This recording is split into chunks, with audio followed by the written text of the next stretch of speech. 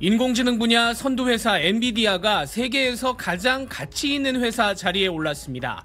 오늘 뉴욕 증시에서 엔비디아는 3.51% 오르면서 시가총액이 3조 3,400억 달러, 우리 돈으로 4,612조 원까지 늘었습니다. 국내 1위 삼성전자의 10배에 육박하는 금액입니다.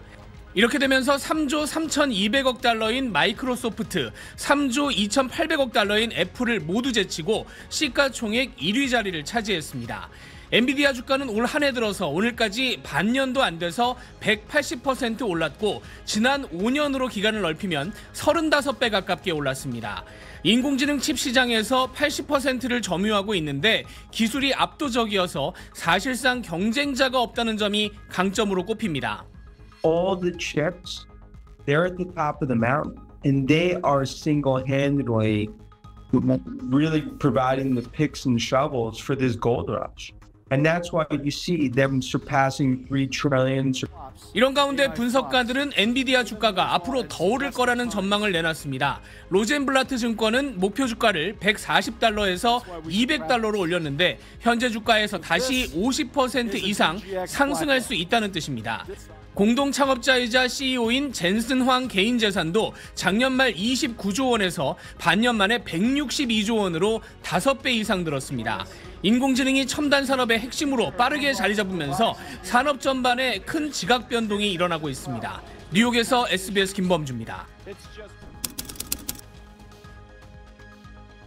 마침 AI 얘기를 해주셨는데 네. 네 어제 오늘 뭐 애플이 계속 주가가 오르고 있고요. 네. 애플 AI, AI에 대한 평가, 애플 Intelligence에 대한 여러 가지 평가들이 있는데 개인적으로 어떻게 보셨습니까? 네, 어, 우선은 우리가 이제 큰 그림으로서 다시 한번 되돌아가 볼게요. 어, 우리가 이제 앞으로 이 금리를 천천히 내려줄 경우에 경기 침체가 안 오는 시나리오가 앞으로 2년, 금리를 내려주고부터 시작해서 2년 정도는 안 온다가 맞다. 네. 그러면 그 사이에 어, 미국 증시가 S&P 500 기준으로서 최소 40% 정도는 오른다라고 가정이 들어가 버리면 어, 결국은 전체적인 지수가 올라가려면 어, 무엇이 올라가야 되느냐 하는 개념에 있어서 저희는 AI와 연결되어 있는 쪽이 가장 계속 리드를 할 거다라고 봅니다. 자, 그렇다면 대형 기술주들 중에서 왜 주가의 그 상승이 달랐느냐? 그만큼 AI를 얼마나 활용하느냐? 아니면 AI와 연결되어 있는 매출이 도대체 어느 만큼 비중이냐에 따라서 주가의 퍼포먼스가 다르다라는 거죠. 뭐 당연히 엔비디아 같은 경우에는 상당히 많은 부분이 AI 칩이니까 네. 예, 그만큼 주가가 많이 탄력을 받는 거고요. 어, 애플 같은 경우에는 AI에 대한 어떤 확실한 내용이 나오지 않았다가 어, 이번에 그 WWDC에서 이제 어떤 식으로 할 거다라는 구체적인 어떤 방안들이 나왔다 보니까 처음에는 쏘쏘 이 정도로 받아들이다가 어 이게 애플의 이 아이폰을 어15 이상 뭐 그래서 대체 수요를 빠르게 일으킬 거다. 네. 왜냐하면 그렇지 않으면 돌아가지가 않는데요. 예.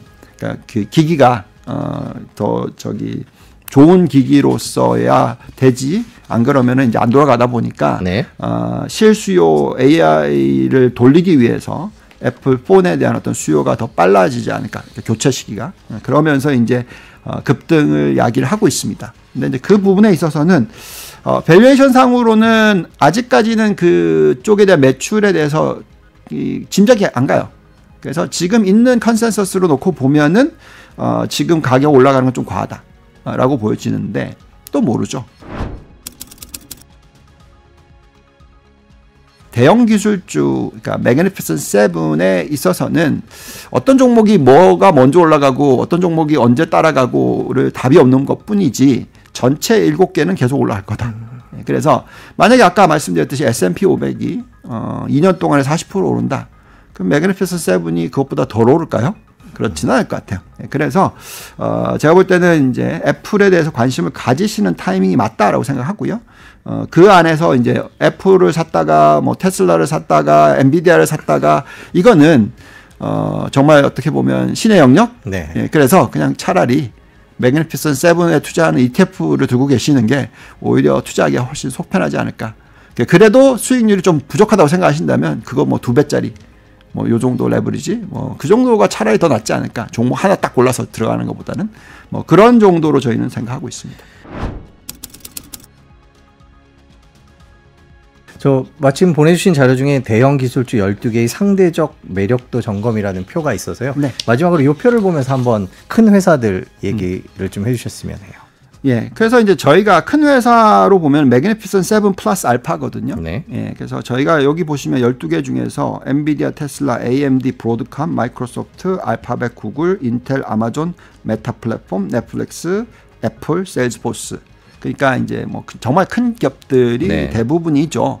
어, 그래서 보통은 보면은 미국의 ETF들이 10개 종목에서 15개 종목을 가지고 대형 기술주 ETF를 만들거든요. 그래서 저희가 이 12개를 비교를 하는 거고요.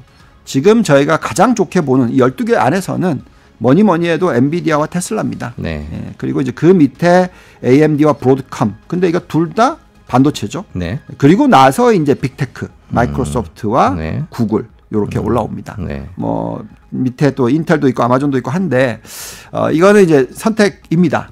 어, 뭐 사실 반도체만 놓고 보면 엔비디아가 막 계속 가지 AMD랑 어, 인텔은 잘 못 가잖아요. 네. 반면에 오늘 또 브로드컴이 폭등을 하고 있거든요. 그랬죠. stock split. 네. 그래서 이게 참 선택하기가 쉽지가 않아요. 음, 그러네요. 예, 그래서 어, 이럴 때는 그냥 ETF가 좋다라는 얘기 해드리겠고 중요한 것은 이 매력도를 보셨을 때 이 12개의 평균 값이 네. 어, 우리가 지금 나스닥 100을 예측하는 거 대비해서 두 배는 훨씬 넘는다. 음. 그러니까 매력도가 이제 나스닥 100으로 보면 한 20% 정도 매력도라고 쓰면 이 회사는 거의 60%니까 예, 이 회사들의 평균은 그러니까 이건 무슨 얘기냐면 뭐 두 배가 훨씬 넘는 거예요. 세 배인 거죠. 예, 그래서 저희는 여전히 어, 이 빅테크가 어, 아까도 말씀드렸습니다만 S&P 500이 40% 올라간다면 이 빅테크가 아무리 못해도 1.5배는 올라간다 더. 예, 그래서 60% 정도 더 올라갈 수 있지 않나 뭐 이 정도로 생각하는데 물론 그 선택을 하기가 참 어렵습니다. 그래서 또 다시 말씀드리지만 ETF를 활용하시면 훨씬 더 좀 더 마음 편하게 어, 뭐 일부에서는 그냥 나스닥 100을 사시는데 그것보다도 저희는 예, 이런 대형 기술주 위주에 사는 것을 둘 다 같이 하시는 게 낫지 않을까. 그래서 나스닥 100과 이 빅테크 ETF 요 두 개를 같이 투자를 하시면 상당히 괜찮은 어떤 성과를 올리시지 않을까 생각이 듭니다. 그 AI 관련돼서 그 인프라 얘기도 해주셨는데 네. 데이터 센터 얘기를 뭐 예전에도 해주셨습니다만 최근에 관련 주식들이 조금 주춤하기는 했었습니다. 데이터 센터 관련된 것들에 대한 투자는 어떻게 해야 될까요? 예, 저희는 이제 이거를 전체 사이클과 같이 보는데요. 어, 이렇게 생각합니다. 음, 엔비디아가 데이터 센터와 우리가 얘기하는 AI 사이클의 가장 대표적인 종목이잖아요. 네. 어, 근데 지금 보시면은 그 이 AI 서버의 비중이 전체 데이터 센터 서버 비중 중에서 이제 10%가 안 돼요. 네. 예. 그래서 어, 전체의 교체가 지금 일어나고 있다고 저희는 판단하고 있고요. 그게 적어도 50%까지 가야지 예, 하드웨어 쪽이 끝난 게 아닌가라고 생각하거든요. 네. 예, 그래서 아직은 멀었다고 생각합니다. 그러면 왜 이런 이 다른 개별 종목들이 주춤하느냐? 너무 많이 올라서. 예, 왜냐하면 엔비디아보다도 훨씬 더 많이 올랐어요. 네. 금리를 마지막으로 올린다라는 뉴스가 나오고 나서 그게 작년 7월입니다. 그러니까 작년 7월부터 지금까지의 상승률을 보시면은 엔비디아와 음, SK 하이닉스와 마이크론, TSMC 정도가 상대적으로 엔비디아보다 덜 올랐어요. 네. 나머지 우리가 얘기하고 있는 뭐 이 데이터 센터 관련주들은 엔비디아보다 뭐 작게는 50%, 높게는 100%더 이상 올랐어요. 그러니까 고점 대비해서 조정을 받는 거지. 네. 이 스토리가 끝났기 때문에 조정을 받는다. 그렇게 저희는 판단하고 있지 않고요. 어, 그래서 사실 뭐 음, 캐시우드님께서는 소프트웨어를 빨리 사야 된다. 그래서 엔비디아를 버렸다. 이렇게 얘기하잖아요. 너무 빠르셨던 것 같아요. 네. 예, 그래서 아직까지는 저희는 하드웨어 쪽이 오히려 70, 소프트웨어 쪽은 30만. 어, 예, 완전 캐시우드 쪽하고 반대죠. 예, 그래서 어, 뭐 2년쯤 됐었을 때, 1년 반 지나갔었을 때, 아니면 내년 적어도 하반기는 되면 그때부터 조금 이제 비중을 조절하는 게 맞지 않을까. 그래서 지금 조정이 일어나고 있는 하드웨어 쪽은 다시 한번 투자를 늘려보시는 것도 나쁘지 않다라고 생각하고 있습니다. 마침 캐시우드 얘기를 해 주셨으니까 어제 테슬라 얘기를 하면서 또 테슬라 갖고 논란이 일었습니다. 어떻게 네. 보셨어요? 뭐 엄청 올라갈 거다라고 예상을 했던데요. 어, 네. 저 테슬라는 어, 어떻게 보면은 이게 이제 하드웨어, 소프트웨어가 같이 접목돼 있고요. 네. 소프트웨어 쪽에서 가장 선도주자라고 보시면 돼요. 그래서 이 자율주행이 들어온다라는 것을 감안한다면, 음, 물론 지금 이 하드웨어 쪽, 즉, 어, 전기차가 깔리는 데 있어서는 다들 뉴스 나오는 게 좀 속도가 더 더디다. 그리고 이게 경쟁이 심하다. 네. 마진이 축소된다. 그러면서 이제 결국 이 기기라고 얘기하자면 예, 까는 부분에 있어서는 잘 안 팔리는데 어 이제 기대치가 점점점 만들어지는 게 이 자율주행 그리고 자율주행과 연결돼서 로보택시 어 뭐 그런 부분들이 다 연결이 되면은 충분히 마진을 또 이제 상쇄해 주는 거죠. 빠지는 부분을 오히려 올라가면서 예, 그러면서 어떤 주가를 끌어올려 줄 거라고 생각하는데 그 주기가 얼마나 빠를까 하는 부분에 있어서는 다른 소프트웨어보다는 얘가 더 빠를 것 같아요. 음. 예. 그래서 아마 주가의 움직임이 더 탄력을 다른 소프트웨어 기다리는 것보다는 테슬라를 보는 게 좋지 않을까.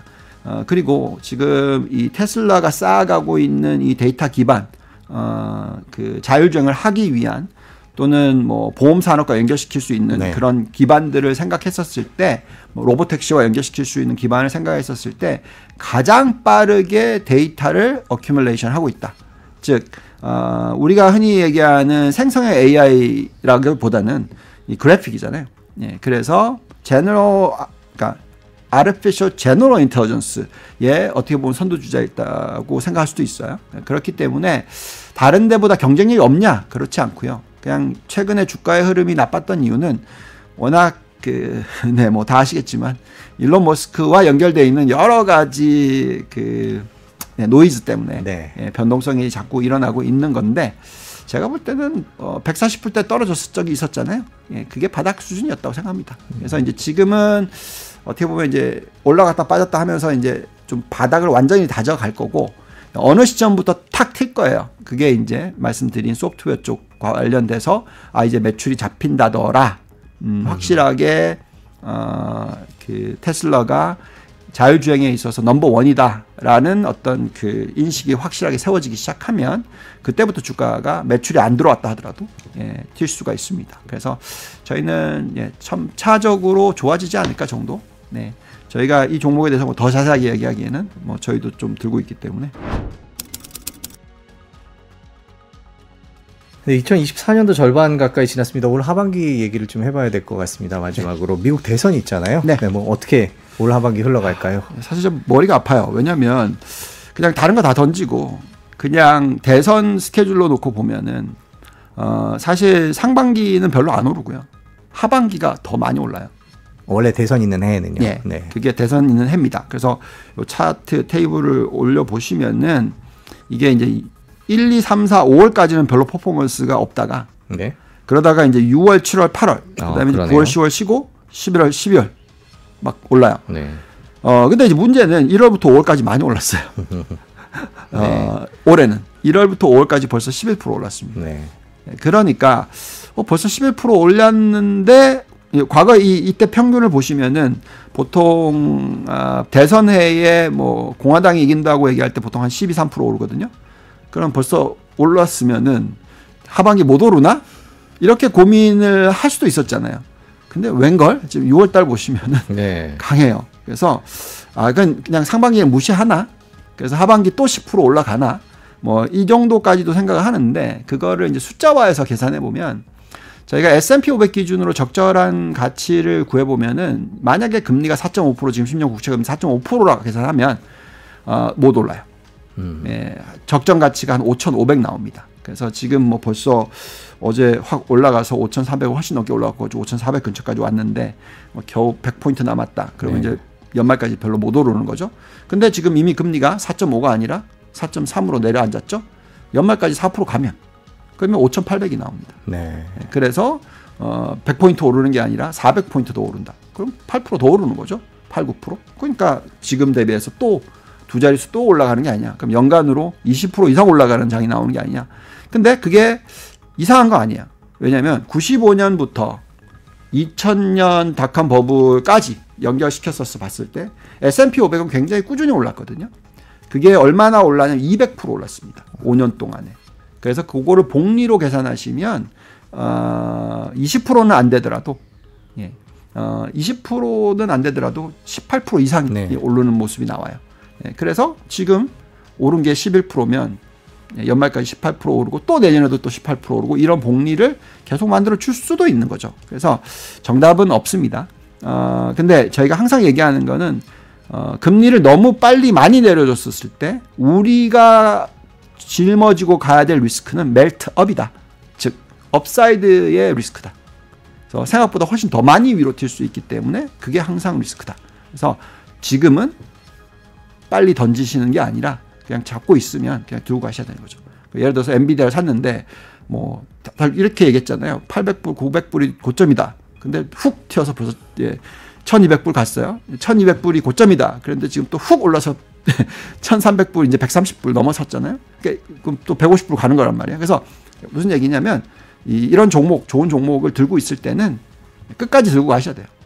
다 오르고 나서 제법 많이 빠질 수 있는 시그널들이 나올 때 그때 던지셔도 늦지 않습니다. 그래서 저희는 지금 하반기 어떻게 되냐 예, 모르겠어요. 근데 어, 빠질 것 같아 보지는 않습니다.